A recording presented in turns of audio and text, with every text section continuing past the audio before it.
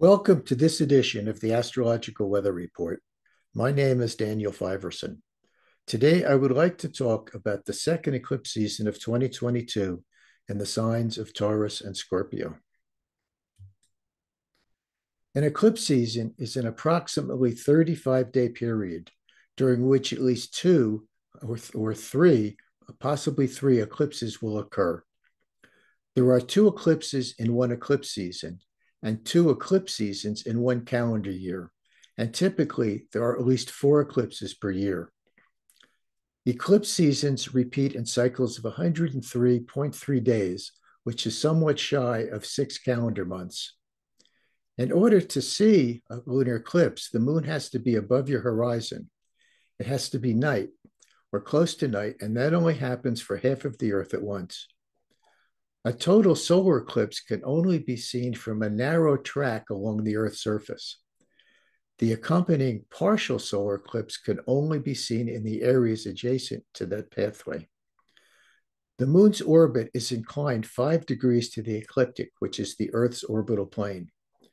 Most of the time, the new moon or full moon swings too far north or south of the Earth's equator of, of the ecliptic for an, an eclipse to take place.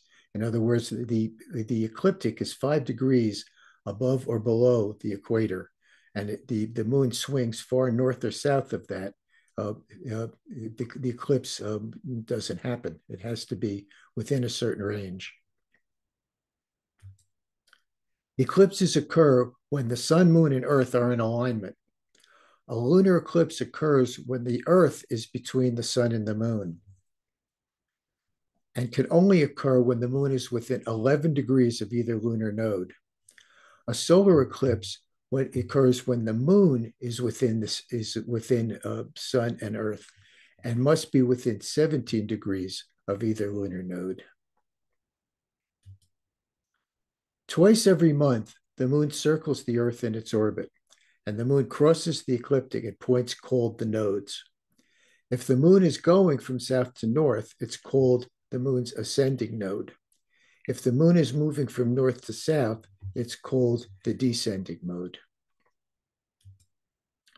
The lunar nodes are actual points in space where the ecliptic, which is the imaginary line drawn by the Earth's orbit around the sun, intersects with the circle drawn by the moon's orbit around the Earth. There's no physical body there, but these points in space hold significant energy. This energetic intersection of the diurnal motion of the Earth, woven with the moon's monthly cycle, represents the etheric pathway from past to future. The moon's nodes are the karmic evolutionary trajectory from the past emotional patterning held in the South Node to the future soul intentions of the North Node. The resolution point between the unresolved past and the probable future is the natal moon in the present. The South Node correlates to the past, what has come before. It is the composite of our previous lunar personalities, our emotional bodies. The North Node points towards the future but the North Node is a probable future. More than one potential future stretches out from the present. The choices that we make in the present determine the direction the future takes. When we repeat the choices of the past as the present, the past just becomes repeats as the future. If we make different choices, we create a future different from past and present. There are, there are in your terms then unlimited probable future events for which you are now setting the groundwork. The nature of the thoughts and feelings you originate and those that you habitually or characteristically receive set a pattern. So you will choose from these probable futures those events that will physically become your experience. In other words, what Seth said, channeled by Jane Roberts, is that we create the future, and it is a probable future. Eclipses occur in 18 year cycles known as Saros cycles. This eclipse belongs to Saros cycle 124 and eclipse and the references the eclipses of 2004. That year, President uh, Saddam Hussein was tried for war crimes and crimes against humanity. Mark Zuckerberg launched Facebook. Car bombs and suicide bombings shook the Middle East. NASA launched its first hyper, hypersonic jet. Early in 2005, still under the influence of the, the last, uh, the last eclipse, Eris, the most massive known planet in the solar system, was discovered. North Korea announced it possessed nuclear weapons, and the first ever YouTube video was, up, of, was uploaded. And as you can see, there are direct correlations to all of these events again right now. A total solar eclipse occurs on October 25th. Pluto is the modern ruler of this Scorpio moon. You can see that the, the moon is in Scorpio, ruled by Pluto. So Pluto becomes the, the, ruler, the ruler of the eclipse itself, of this new moon. An eclipse season formats the next six months and beyond. Each each month, a, a, lunar a new lunar cycle formats the next four weeks, but the eclipse is six months going going forward. Pluto is the planet that is imprinted with the curriculum or curriculum of life lessons. It carries in, it is embedded with what came before and what is or what our soul is intending for us going forward. Currently, the Lord of the Underworld, Pluto, is moving through the final degrees of Capricorn, which are the most intense and most accomplished degrees of Capricorn. It's Saturn sign that generates form and structure, and we can see all the form and structure that it has created around us. The ongoing changes to our normalcy will begin to harden. In March, Chthonic Pluto will briefly move into Aquarius, ruled by sometimes disruptive or traumatic individualistic uh, Uranus. Scorpio events are chthonic. They occur in the underworld, the mythological abode of the dead beneath the earth. The subconscious mind is our emotional underworld. Repressed personal trauma is hidden there. These are the fragments of ourselves that have been disowned or denied, what, the, what shamanism calls soul loss. What is below the surface is not necessarily dead and buried. Under the earth are treasures, precious metals, minerals, and gems. Hidden away in our subconscious are the parts of ourselves that we have secreted away, that we have fragmented off. These treasures are waiting to be exhumed, healed, and reintegrated into our personality uh, and to uh, the personality that we are self actualizing. In the astrological 12 letter alphabet, Scorpio formats the energetic frequency of the eighth house. The sign on the cusp of the eighth house, its ruler and aspects, delineate the shadow material hidden below the level of our everyday awareness. That's in general in any chart. Pluto's evolutionary dynamic will probe for the shadows and make deep incisions where unresolved energy needs to be released. At this new moon, Venus embraces the sun and moon. This placement presages the Taurus lunar eclipse on November 8th, uh, Venus being the, the, also the ruler of Taurus. In the sign of Scorpio, Venus is powerful and self directed. It is her inner directed yin expression uh, in Taurus uh, that's the goddess of relationships going below the surface, disgorging feelings about how we have stood in our authority and our sacred commitments.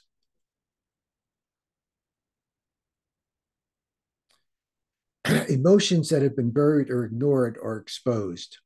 Anger, resentments, and injustices from the past that have not been addressed or alleviated can boil over.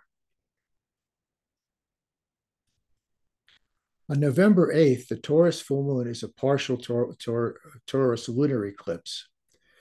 The archetype of Taurus embodies what is essential for survival. Taurus is sex and the procreation of the species. Taurus underscores what we value, such as money, art, food, shelter, and clothing. Through her yin inner expression in Taurus, Venus projects inward to find value and meaning, reflecting who and what we are becoming. The sign on the cusp of the second house its ruler by sign and aspect, and Venus by sign and aspect format our values and priorities regarding the necessities we deem we need to survive. The transits of the lunar nodes through this polarity and the transit of Uranus through the sign of Taurus have exhumed what is truly essential to our survival as individuals, families, nations, and of the planet itself. The world as we know it continues to be radically reshaped since Pluto's entrance into Capricorn in 2008. Saturn joined Pluto in Capricorn in 2017 and ushered in Donald Trump and COVID in 2019. The Lord of Time is currently exercising a Uranian agenda as he transits the sign of Aquarius until March 2023.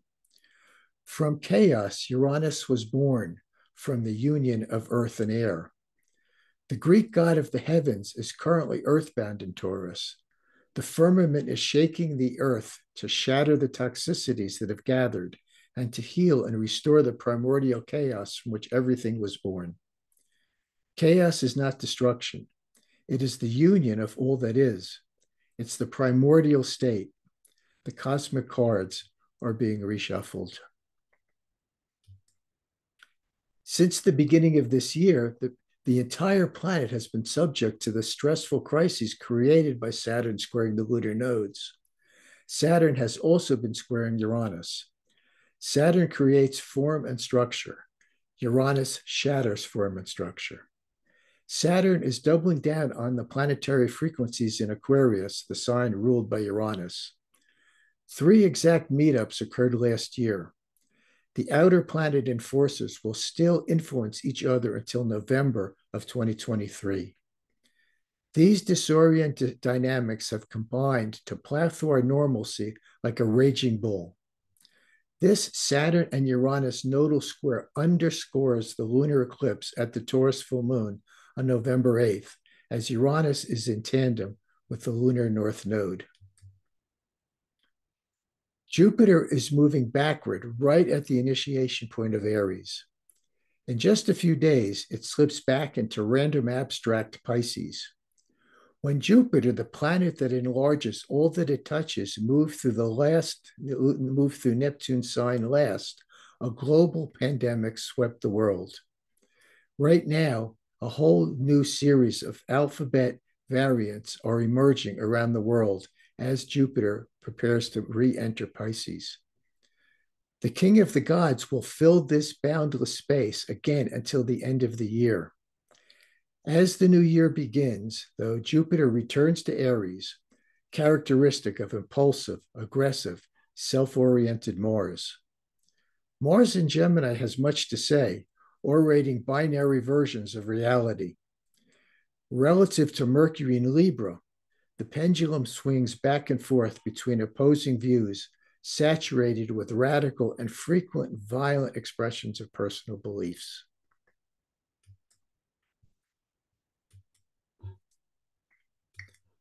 you can see um, how, how I derived all this because Jupiter is ruled by Mars and Gemini, and Gemini is ruled by, uh, actually called the dispositor, by Mercury in Libra. So the Mercury in Libra underscores Mars, and Mars in Gemini underscores the, the Jupiter energy at the moment.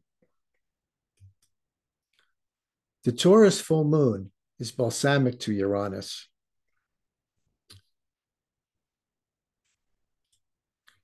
Emotions are on the surface, but not yet fully revealed. We have an intuitive sense of what is about to happen, the past and future collide in the moment, present moment. The past haunts us. The future shimmers in and out with alternating images of Olympus and Hades. Will this planetary moment of truth be the harbinger of some historic climax that sets the tone for years to come? Is the question that I ask. Two grand trines complement each other at the lunar eclipse, suggesting a Star of David formation though it's not quite in all an orb, that integrates the eclipsed luminaries with Pluto, Pallas Athena, and Jupiter.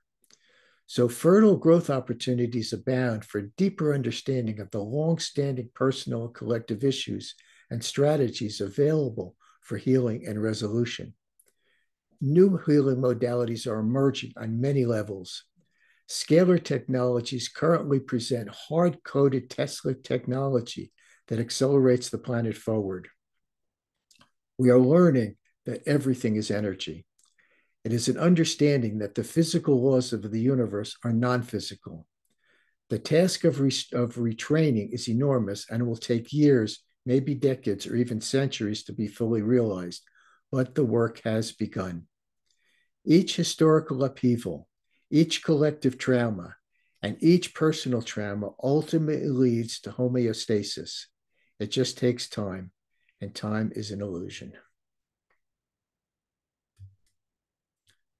The total solar eclipse will be visible for 85 minutes at 5:59 Eastern Time. It will last for 5 hours across Europe, Africa, the Mideast, Australia, the Philippines, and New Zealand, reaching totality at 7 a.m. Eastern Standard Time. The lunar eclipse will be visible across Asia, Australia, and Pacific in the Americas. The totality will be last for an hour and 25 minutes and will be exact at 6 a.m. Eastern Time. Thank you for tuning in. This is how you can uh, reach me, read more about my work, find my, the other YouTube videos that I have recorded. Uh, contact me if you would like a reading. Um, I, it's my pleasure here to, to be here today and, and deliver all this information. And I will see you again at the next astrological phenomenon. Namaste.